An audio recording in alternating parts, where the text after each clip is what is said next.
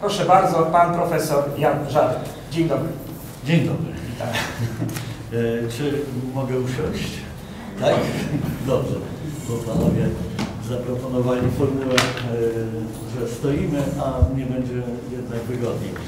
E, Proszę Państwa, chciałem głównie podzielić się z Państwem pewnymi, mam nadzieję, refleksjami na temat e, tego, e, co się wydarzyło w maju 1926 roku.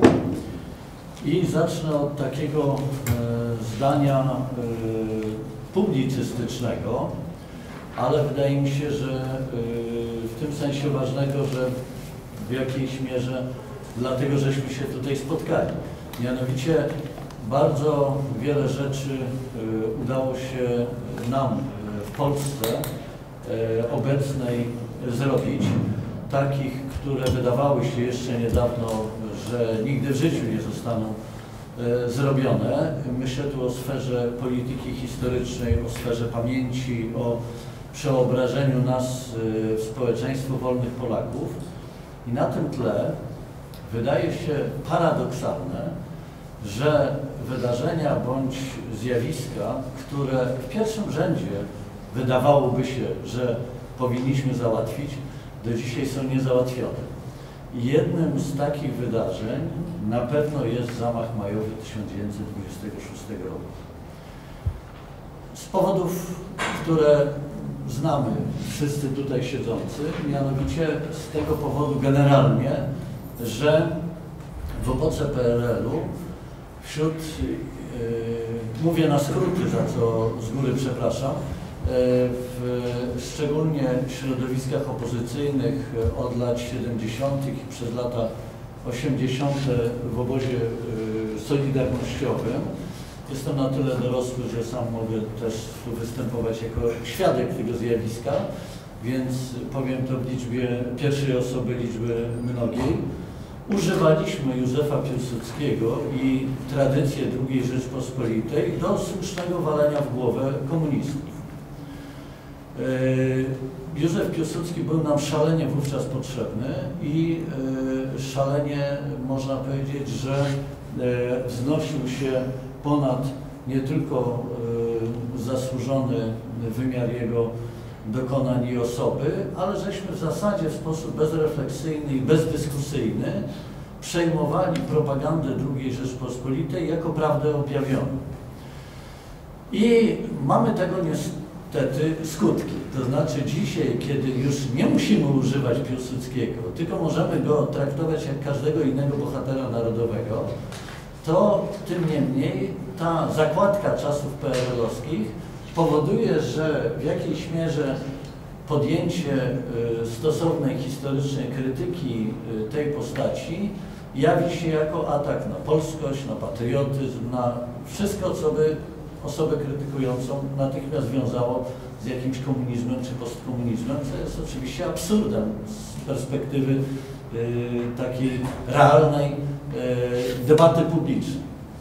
Powiedziałem to w skrócie, bo oczywiście można o tym mówić długo i namiętnie, bo nie to jest tematem mojego wystąpienia, ale dlatego o tym wspominam, że w związku z tym, że nie przepracowaliśmy zamachu majowego, to w związku z tym także i to już jest dużo poważniejszy problem, nie przepracowaliśmy naszego polskiego stosunku do tego, co się w zamachu majowym kryje najważniejszego. A co się tam kryje? Dwie, co najmniej, albo trzy takie fundamentalne kwestie, które można podnieść w analizie i tamtejszej rzeczywistości, i także w analizie długotrwałych e, skutków zamachu majowego. Mianowicie pierwsza kwestia, mianowicie, którą trzeba podnieść jako pierwszą, bo akurat tak się składa, że obchodzimy stulecie y, niepodległości. To jest oczywiście przez obóz sanacyjny wykonana olbrzymia praca propagandowa w latach 1926-1939, polegająca na tym, żeby zniszczyć wielobarwność polskich dążeń niepodległościowych prowadzących do odzyskania niepodległości w 18 roku. Podam Państwu ten fakt na poziomie jednego wymiaru dzisiejszego, który mnie jako polityka potwornie irytuje i którego nie mogę zrozumieć z punktu widzenia takiego mentalnościowego. Otóż, proszę Państwa, myśmy wygrali pierwszą wojnę światową, nie mając jeszcze państwa, myśmy dyktowali jako współtwórcy pokoju światowego układ wersalski, wszystko za sprawą pewnych konkretnych ludzi, których lista zaczyna się od tych dwóch najbardziej znanych nazwisk, czyli Romana Dmowskiego i Ignacego Jana Paderewskiego, ale przecież to nie jest tylko ta dwójka. To jest Maurycy Zamojski, to jest Sejda, to są historycy polscy, na przykład Oskar Halecki, Władysław Konopczyński, wielu ludzi, którzy pojechało w ślad za nimi do Paryża, wcześniej albo później, jeszcze przed zakończeniem wojny, bądź po zakończeniu wojny i tam lobbowali na rzecz sprawy polskiej, organizując w salonach paryskich spotkania po to, żeby Francja wiedziała, dlaczego ma się opowiadać za polskimi racjami. To była wielka operacja intelektualna, dyplomatyczna, strategiczna, można powiedzieć, że wymyślona przez wybitnych polskich intelektualistów.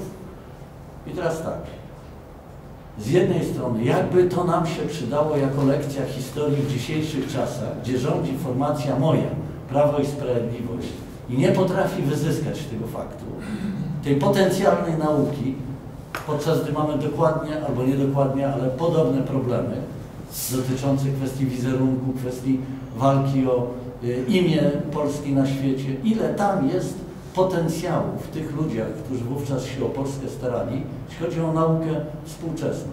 A z drugiej strony, ile jest możliwości wyzyskania tych postaci do tego, żeby dzisiaj wspólnie ze Stanami Zjednoczonymi, z Wielką Brytanią, z Francją, z Włochami, z Japonią, proszę bardzo, czemu nie, żeby celebrować fakt, że razem żeśmy 100 lat temu tworzyli pokój światowy.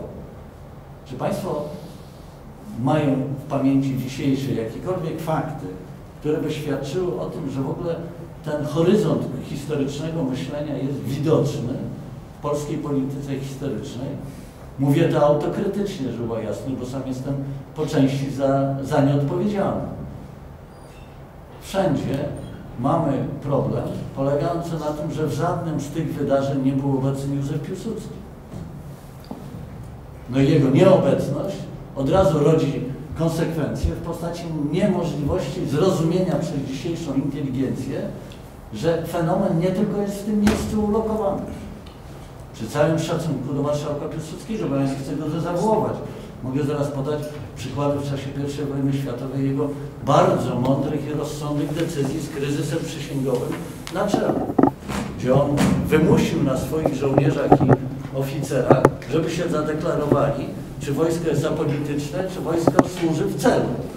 Oczywiście, w celu odzyskania niepodległości i ten wymiar jego decyzji był szalenie istotny z perspektywy rozumienia, że żołnierz nie jest po to, żeby oddawać życie za byle co, tylko za coś. Tak? I można długo o Piłsudskim mówić mądrze i dobrze, ale nie o to chodzi. Chodzi o to, że my mamy fenomen w postaci wielobarwności naszych dokonań. To jest ten wymiar zamachu majowego, który do dzisiaj boleśnie możemy odczuwać jako nieskonsumowana e, w gruncie rzeczy wiedza na temat naszego potencjału intelektualnego, potencjału politycznego itd. Tak itd. Tak Bo w latach 26-39 na różne sposoby, czy to poprzez brak awansów, czy to jeśli chodzi o sferę wojskową, budowanie korpusu generalicji, prawda, wyższych oficerów, czy poprzez propagandę, poprzez cenzurę, która wówczas e, była bardzo ostra de facto, niwelująca pewne możliwości e, tworzenia itd., tak itd., tak została poprzez krzyżenie podległości, proszę sprawdzić, kto je dostawał, a kto nie, to jest budowanie narracji w latach 26-39, która spowodowała rozstanie się znacznej części e, społeczeństwa z pamięcią o polskim dorobku. Bo państwo jest autorytetem i władza sanacyjna miała autorytet poprzez instytucje państwa, budowała świadomość e, chwili, tej, którą nazywamy odzyskanie niepodległości. To jest pierwszy bardzo ważny skutek nierozliczenia się z zamachem majowym. Ale jest niestety i drugi, proszę Państwa. O nim jest najsmutniej mówić, ponieważ on dotyka nas e, samych, także tutaj siedzących, żeby była jasność, e, ale także jest skutkiem, który należy do sfery dla mnie w tym sensie, w tym sensie najsmutniejszej, że jedną z, mm, z taki, jednym z takich obrazów, które jako historyk mam, to jest obraz oczywiście zidealizowany, wyidealizowany pierwszej Rzeczpospolitej. To znaczy 250 lat, czyli proszę sprawdzić, ile to pokoleń musiało być. Szlachta polska dorosła do najbardziej trudnego do e, uszanowania, bo do tego trzeba dużej pokory, ustroju, która sama wymyśliła, który sama wymyśliła. 250 lat potrafiły kolejne pokolenia szlachty polskiej od XV do co najmniej końca rządów Zygmunta III Wazy, choć już się zaczęły w tym czasie oczywiście słabości ujawniać, potrafiła sprostać wyzwaniu ustrojowemu, które polegało na połączeniu trzech e, wówczas e, znanych ustrojów i wzięcia z nich najlepszych rozwiązań, czyli ustrój monarchistyczny, arystokratyczny i demokratyczny, na rzecz wzmocnienia ustroju demokratycznego, bo on był najsłabszy w sferze egzekucyjnej, więc trzeba było więcej nadać uprawnień demokratycznych państwu niż e, arystokratycznego systemu e, czy monarchistycznego, bo on z racji no, pozycji króla i pozycji senatu, czyli urzędów, z definicji mieli ci ludzie więcej egzekucji, żeby chronić te swoje e, systemy, prawda, czy e, przez e, swoje urzędy jakby honorowane.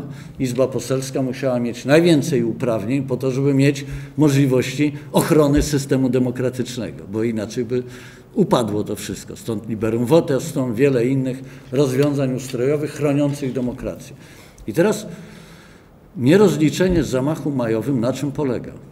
Otóż na tym, że my być może, za chwilę do tego szerzej powrócę, myśmy w latach 21-26, czyli od czasów co najmniej Konstytucji Marcowej, można to sięgnąć do czasu jeszcze utworzenia Sejmu Ustawodawczego, ale raczej zostawiłbym na boku Sejm Ustawodawczy, bo to jednak zdecydowanie pozytywny czas y, funkcjonowania polskiego parlamentaryzmu z racji niesamowitych osiągnięć, ale ten Sejm i pierwszy Senat, czyli lata 22-26 na bazie Konstytucji Marcowej, nie spowodował w nas, być może był to za krótki czas oczywiście, nie spowodował w nas tej możliwej e, lekcji przypomnienia sobie o polskich umiejętnościach funkcjonowania w warunkach demokracji, tylko wręcz odwrotnie. Oczywiście, żeby była jasność, głównie, zaraz do tego szczegółowo spróbuję przejść, głównie obóz belwederski, czyli obóz marszałka Piłsudskiego, w momencie, kiedy marszałek Piłsudski zdecydował się na opuszczenie oficjalnej sceny politycznej, robione w sferze mentalnościowej wszystko, żebyśmy nie mieli szacunku do systemu demokratycznego. I ten brak szacunku do systemu demokratycznego był oczywiście potrzebny i używany y, jako pewien sposób komunikacji ze społeczeństwem ówczesnym polskim, nie tylko po to, żeby dokonać konkretnego zamachu, ale także, żeby wywołać reakcję, która do dzisiejszego dnia tkwi bardzo mocno w Polakach, mianowicie, że my nie zasługujemy de facto na praworządność i potrzebujemy silnego bata i tylko jeżeli ktoś nas wali w łeb, to jesteśmy skorzy do podporządkowania się władzy. Proszę zobaczyć, ile tu jest hańbiących nas słów, które ja wypowiedziałem. Nas jako Polaków. My sami w dużej mierze jesteśmy jako społeczeństwo polskie skorzy do tego e, domniemania, które jest lekcją wypływającą z e, rządów sanacyjnych, że jesteśmy, no nie chcę powiedzieć, że głupi na pierwszym miejscu, ale jesteśmy niezdolni do funkcjonowania innego, jak pod silną dyktatorską władzą, której najchętniej oddamy prerogatywy po to, żeby e, mieć z głowy.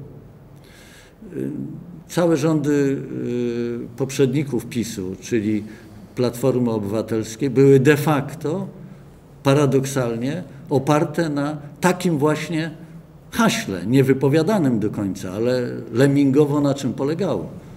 Na tym, że właśnie wy Polacy jesteście durnowaci, zajmijcie się chodzeniem do kina i ewentualnie do jakichś rozrywkowych lokali, ale nie zajmujcie się rzeczami wyższymi. My za was to załatwimy razem z naszymi protegowanymi. E, mówię tu językiem zarówno Unii Europejskiej, jak i e, tym, jak to ostatnio Donalda Tuska nazwałem, że to taki wódz indiański z pióropuszem, który e, dostał prawo od najezdników E, w tym przypadku z Unii Europejskiej, żeby e, dokonał pacyfikacji plemienia i on dokonał, no to mu zamienili ten pióropusz na koronę i on sam jest oczywiście e, szalenie ważny w świecie, bo wykonał pewne zadanie bojowe, które otrzymał, ale jaki to ma związek z suwerennością narodu, z podmiotowością, czyli z tym, co jest kwintesencją rozumienia pojęcia demokracja. Prawda? Bez suwerenności narodu, bez E, suwerenności jednostki, która jest zdolna do utrzymania w sobie tejże suwerenności, w ogóle nie ma sensu stosowanie pojęcia demokracja, bo demokracja nie jest definicją teoretyczną, tylko demokracja jest praktyką. Dlatego zacząłem od I Rzeczpospolitej i 250 lat tego, co e, nazywano e, i szlachta polska nazywała właśnie odpowiedzialnością w praktyce bieżącego funkcjonowania w polityce. I ja bym uznał, że to są te dwa najbardziej tragiczne skutki y, zamachu majowego, ponieważ zamach majowy oczywiście nie wyleczył wbrew swoim obietnicom, y, nie wyleczył y, od skaz ustroju demokratycznego, tylko je pogłębił. Tylko i wyłącznie. Nie miał żadnej recepty na wyzwolenie w nas samorządności, zasady w praktyce pomocniczości lansowanej przez Kościół, czy innych zasad, czy systemów wartości, które tworzyły samorządną Rzeczpospolitą, czyli podstawę demokratycznego systemu, tylko wręcz odwrotnie, po 26 roku od razu było to widoczne już w okresie formowania się BBWR-u, różnymi mniej lub bardziej zacnymi sposobami, czyli albo kradzieżą z budżetu państwa pieniędzy, albo za sprawą cenzury, która wprowadzała mechanizmy zniewalające tytuły prasowe, na przykład w środowisku, które e, e, tak się cieszyło z zamachu majowego jak PSL Wyzwolenie na przykład, gdzie na całym Mazowszu, gdzie PSL Wyzwolenie było bardzo silne, rozpoczęto akcję wymuszającą promowanie BBWR-u, albo zamkniemy wam tytuły i redaktor naczelny stawał w sytuacji albo pozbędzie się korpusu swoich redaktorów, albo przejdzie do BBWR-u. No i co on miał Bidak robić? To są miejsca pracy, to jest bardzo poważny... E, tak, rozumiem. E, więc te, te mechanizmy likwidujące de facto w nas poczucie suwerenności narodowej zostały tylko i wyłącznie wzmocnione te negatywy po zamachu majowym. Natomiast powiedziałem, że była też trzecia e, cecha, czy trzeci, trzeci wymiar zamachu majowego, e, z którym e, też sobie nie poradziliśmy niewątpliwie, ale który z kolei w odróżnieniu od tych dwóch poprzednich, które można powiedzieć, że sprowadzają zamach majowy tylko i wyłącznie do zła, i można tych zeł jeszcze więcej, rzecz jasna, wyartykułować i wszyscy je znamy, łącznie z podstawowym, że po prostu zginęli ludzie. 379 y, osób, które, jeśli dobrze pamiętam, zostały... Słucham? Tak, ale już o 400, tak, tak. No ale powiedzmy, czy było 400, czy 379, to jest ważne dla rodzin oczywiście, tychże e, zabitych, ale e, możemy umówić Rząd się, wielkości. że rząd wielkości jest taki. I to jest krwawa, e, krwawy bilans, żeby była jasność, bo to nie trwało miesiącami, tylko to, tylko to trwało w dwa praktycznie dni, kiedy rozpoczęła się, e, e, rozpoczął się bój, e, efektem którego były, e, byli e, ci, którzy, którzy następnie zginęli. Więc ten bilans jest krwawy i on nie mógł nie pozostawić śladów i skutków w mentalności. Ale jest ostatnie e, kwestie, trzeci wymiar, którym chciałbym powiedzieć, bo on z kolei jest dla nas lekcją, dla naszej strony. Mianowicie niewątpliwie system demokratyczny był w Polsce w latach 22-26 słaby. W miarę tej słabości można by bardzo długo o tym mówić. Dwie tylko przybliżę. Pierwsza to jest to, że być może z racji odziedziczonych XIX-wiecznych naszych e, skłonności, poza instytucjami demokratycznymi kryły się siły zorganizowane, które de facto w dużej mierze zarządzały państwem. I to po obydwu stronach. I Piłsudczycy mieli swoje struktury organizacyjne zarządzające de facto, ale także Liga Narodowa nadal istniała czyli konspiracyjność, masoneria, która y, bardzo była silna i która dywagowała na kogo postawić, czy na Sikorskiego, czy na Piłsudskiego, rozwalając system demokratyczny. Tych sił było bardzo, bardzo dużo. To jest pewna realna słabość, która po prostu wtedy była. Druga kwestia ważna, mianowicie realna, realna rzeczywistość, która nam nie ułatwiała w budowaniu systemu demokratycznego, to jedna trzecia społeczeństwa posiadającego te same prawa nie była w ogóle zainteresowana tym państwem. Była to grupa mniejszości narodowych, które miały stosunek tylko i wyłącznie roszczeniowy do państwa. Nie mówię, że oni byli nastawieni tylko i wyłącznie antypaństwowo, bo to nie o to chodzi. Tam były postawy od, wśród mniejszości żydowskiej, na przykład od lojalnych zdecydowanie obywateli po yy, środowiska antypolskie. Ale żeby nie wiem jak szukać dogłębnie, to jeżeli nie byli to w pełni spolonizowani Żydzi, to którzy byli patriotami polskimi, po prostu nazywamy ich patriotami i Polakami, takimi jak niedawno przez nas moje środowisko jakoś wydobyty na powierzchnię major Stanisław Ostwind, który był policjantem w okresie II Rzeczpospolitej, a potem najwyższym stopniem polskim wojskowym oficerem w latach II wojny światowej, czyli majorem Narodowych Sił Zbrojnych. W Armii Krajowej nie znajdziecie o tym stopniu e, Polaka pochodzenia żydowskiego, a w NSZ znajdziecie. To po prostu był Polakiem stuprocentowym, czy dwustuprocentowym i stuprocentowym Żydem, bo i matka i ojciec byli pochodzenia żydowskiego, a on przeszedł z judaizmu na katolicyzm i no po prostu był w pełni Polakiem uświadomionym. To, y, to nie znajdziemy wśród partii politycznych żydowskich, czy też ukraińskich, czy oczywiście tym bardziej mniejszości niemieckiej, żadnej, która by wyrażała tak głęboki patriotyzm na rzecz podtrzymania państwa polskiego, żeby oddać część swoich interesów całości. I to jest definicja roszczeniowości. Oddać część swoich interesów całości. To jest jedna trzecia państwa w parlamencie posiadająca takie same prawa jak pozostała. Co to oznacza?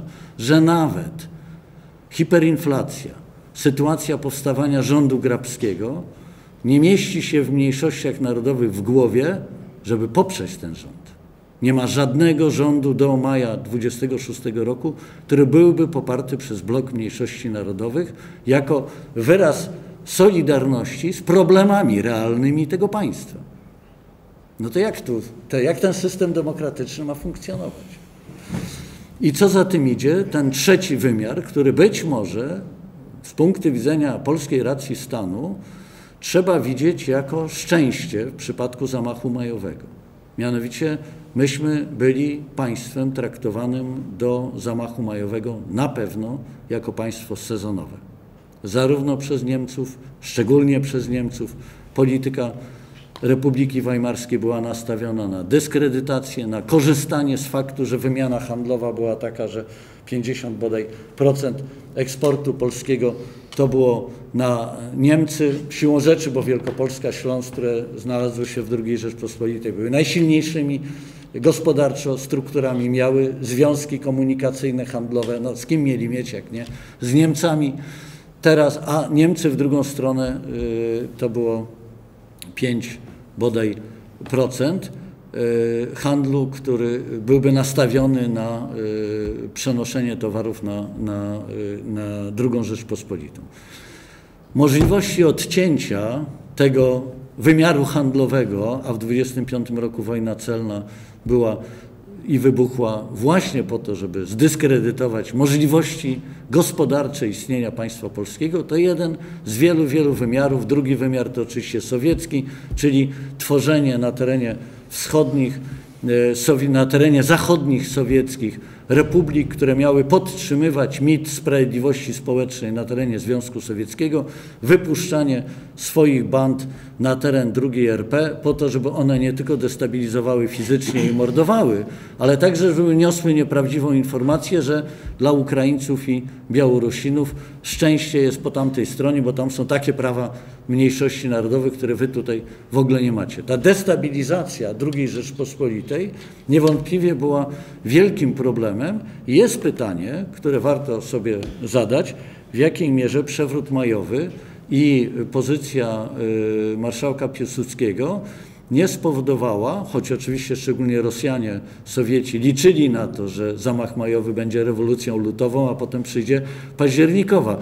Y, ja już się śpieszę, więc mówię na skróty, ale faktem jest, że tak się nie stało, dlatego że Piłsudski okazał się być mądrym realizatorem zamachu majowego, a nie głupim. To znaczy widział, gdzie są te szkodliwości, które trzeba y, w miarę możliwości y, pomniejszyć, czyli ten prawda, zamach majowy jako rewolucja bez rewolucyjnych konsekwencji, tak nazywane, w imię tego, żeby zabezpieczyć międzynarodowe interesy państwa polskiego. I tu jest pytanie dla mnie otwarte. Ja nie umiem sobie, tak jak z takimi dwoma kwestiami umiem sobie poradzić, że nie przećwiczyliśmy zamachu majowego i te dwa kierunki, o których powiedziałem, świadczą o tym, że i twórcy zamachu majowego, i obóz sanacyjny, powinien podlegać dzisiaj bardzo ostrej krytyce za to, co, co zostało wówczas wykonane. Tak z punktu widzenia bezpieczeństwa państwa międzynarodowego, do dziś nie umiem sobie odpowiedzieć na pytanie, może tutaj padną jakieś na ten temat propozycje, czy zamach majowy, choć w pierwszym momencie nas na pewno osłabił, czy wzmocnił nas generalnie jako państwowość w sytuacji y, lat 21-26, gdzie byliśmy i wewnętrznie, i zewnętrznie narażeni na daleko idącą sezonowość w skutkach, czy też nas dodatkowo osłabił przez fakt destabilizacji mechanizmów demokratycznych i możliwości funkcjonowania społeczeństwa jako społeczeństwa narodu samorządnego. Dziękuję bardzo. Dziękuję bardzo.